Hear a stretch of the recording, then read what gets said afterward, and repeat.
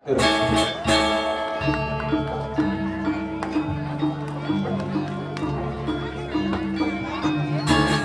lunas tepuk tangan sarang sami peniki ngajak main pakis peniki baik prabowo istri banyak bener kaje sarang sami